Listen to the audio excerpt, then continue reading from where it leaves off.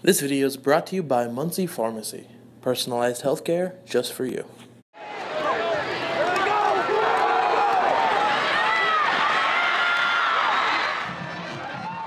I really just can't even explain it. After last year's loss, being first year starter and whatnot, and then feeling like you let down the seniors to come back your senior year and just leave it all on the line like that, that is it's, it's nothing better. You grow up your whole life playing. Three, come on, come on, take it there.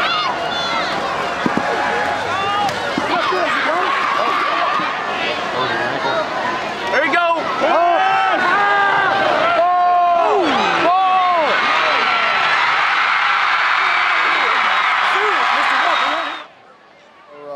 you know, we get into halftime and, and our offensive line, you know, feels like they're stronger than the D line. Like, you know, they're they're starting to, to, to break down. And so that helps tremendously, uh, keeping our legs going and, and obviously being able to execute on, on, our, on our offensive line.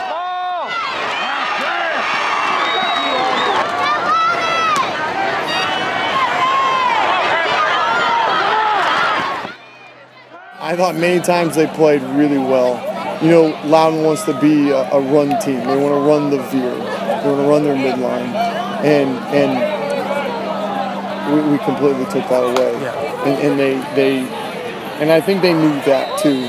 Just how many times they threw the football in this in this uh, game. So uh, you know, our front seven is going to be something to be reckoned with uh, all year long, and it'll be uh, fun to watch us continue to grow and. and and mature and, and uh, you know, get seasoned and, and ready for a playoff run.